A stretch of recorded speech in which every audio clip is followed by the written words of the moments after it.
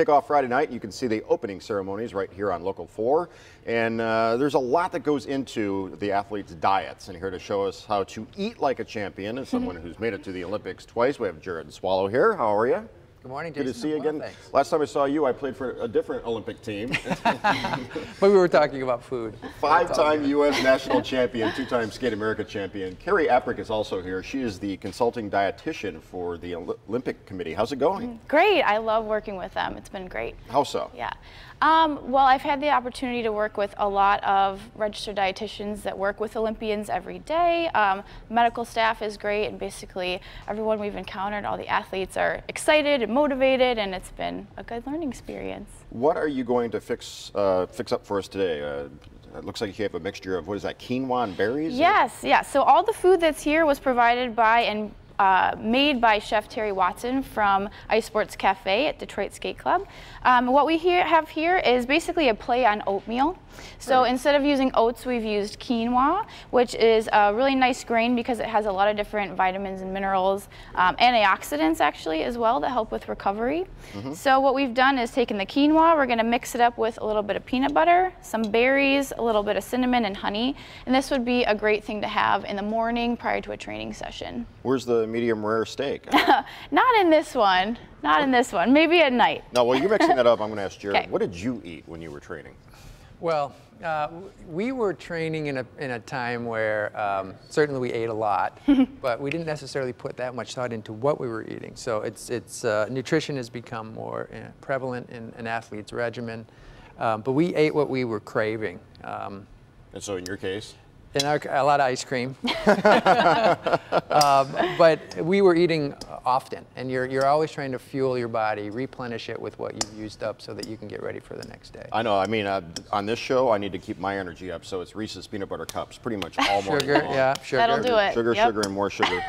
um, and while you continue to mix that, uh, let's uh, talk about the bid that's uh, still out Yes. there. Let- Yes. tell everybody at home what we're talking The about. The Detroit Sports Commission, uh, along with Olympia Entertainment and the Detroit Skating Club, put together a bid to host the 2018 U.S. Figure Skating Championships, which is also the Olympic Trials. Ah. Um, so we are one of three cities in the running. Uh, Anaheim and San Jose, I believe, are, are two of the other cities interested in, in hosting. We had a site visit in June, very successful. Uh, and we should hear this month in August whether or not the Nationals will come back to Detroit in 2018. Gotcha.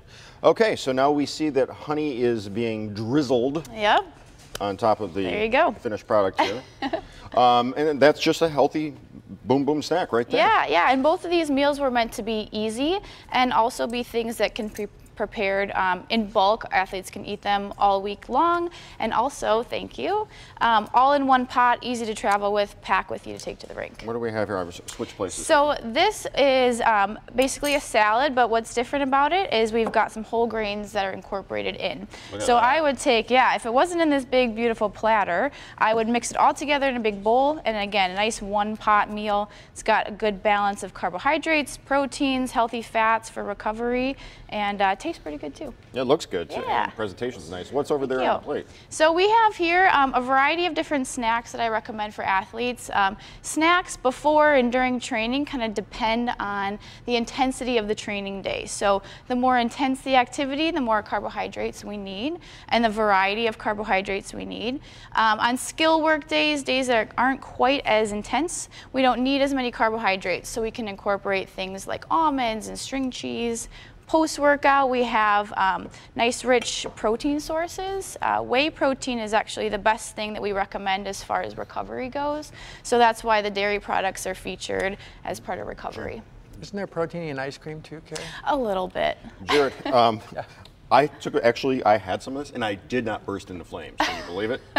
I'm sure it's delicious. I, I, I want a bowl too, Carrie. Yeah, you're welcome to it. Yeah. I'm, I, while she's serving that up, I'm, I'm, I'm guessing that you, the, the uh, honey is there in place of actual sugar, so that's the trade-off. Yep, right? it is a sugar, but a little bit of sugar can give you a little boost of energy. Honey also is a natural source that has some antioxidants as well. Jerod, a moment ago, we, uh, you and I covered the bid. Um, that that's still you're going to find out here probably in the next Hopefully month the or next so. month, right. um, why is Detroit? I mean, looking at two California cities, but then Detroit. Sorry. Excuse me. Why is Detroit a great place to have the the trials? Well, figure skating, the figure skating community, uh, the figure skating community in Detroit is very large, and we've had a, a long history of great champions from this city.